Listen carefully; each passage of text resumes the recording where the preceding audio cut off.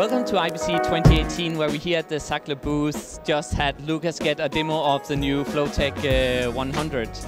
Yeah, I actually really like it. It's really easy to use. I work with Sachtler and I also work with the Speedlux a lot and do documentary shooting and it feels a lot easier and a lot faster with the Flowtech actually, yeah.